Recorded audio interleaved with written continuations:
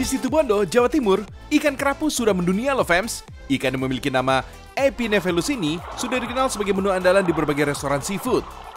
Kualitasnya gak diragukan lagi. Tekstur dagingnya lembut, tebal, dan rasanya enak disantap. Pantasan aja kalau ikan karang ini memiliki nilai jual yang tinggi dan menjadi komoditas ekspor yang menjanjikan. Mantep ya! Kalau penasaran, datang deh ke Desa Kelatakan, Kecamatan Kendit, Situbondo. Berlokasi 500 meter dari bibir pantai, berbagai jenis kerapu dibudidaya di Keramba Apung. Kerapu cantang dan kerapu cantik ini menjadi paling banyak peminatnya fans. Oh iya, kerapu cantik adalah hasil persilangan kerapu jenis macan dan kerapu batik loh. Jenis kerapu cantik bisa kamu bedakan dari bintik-bintik di bagian bawah tubuhnya. Soal harga, emang gak terlalu mahal fans. Tapi jenis kerapu cantik ini tahan terhadap penyakit dan dapat tumbuh dengan cepat. Peminatnya kebanyakan berasal dari Hong Kong fans. Keren! Indonesia mendunia! Kerapu emang dikenal sebagai jenis ikan laut yang hidup di sekitar karang. Tapi kamu pasti nggak nyangka kan kalau ikan kerapu ini ternyata bisa hidup di gunung? Berlokasi di lereng Gunung Merapi, budidaya kerapu gunung harus melalui rekayasa.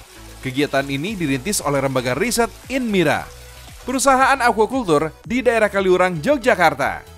Fans, budidaya ikan kerapu gunung dikembangkan dengan air laut buatan. Maklum aja, kerapu cuma bisa hidup dengan parameter air yang sama persis di habitat aslinya. Nah, di sini kolam budidaya ikan kerapu dibagi menjadi empat.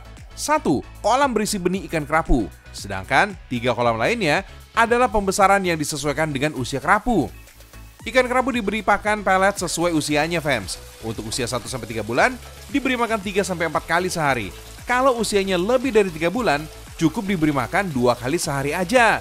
Biasanya, ikan kerapu di sini udah bisa dipanen setelah berusia 6 bulan, fans. Oh iya, bak penampungan berukuran 2,5 meter kali 2,5 meter ini mampu menampung sekitar 90 ekor ikan per meter kubik, fans. Ikan kerapu yang dipilih untuk dibesarkan di sini adalah jenis kerapu cantang. Itu loh persilangan antara kerapu jenis macan dengan jenis kertang. Selain pemberian makan, perkembangan kerapu juga diperhatikan, mulai dari ukuran panjang badan hingga beratnya. Fams, salah satu keistimewaan dari budidaya ikan kerapu di sini adalah pemanfaatan air. Air dalam penampungan bak ini bersirkulasi secara terus-menerus. Dengan mesin khusus, kualitas air dalam bak tetap terjaga, baik itu kadar garam, oksigen, pH air, hingga pencegahan bakteri. Dengan sistem filterisasi dan penyinaran ultraviolet, kualitas air dalam bak penampungan harus terjaga tanpa harus diganti. Soal kualitas, hmm, ikan kerapu gunung berani diadu fans. Karena letak mereka yang dekat dengan konsumen, ikan-ikan hasil budidaya di sini dijamin segar. Bahkan saat pengiriman ikan juga masih hidup loh.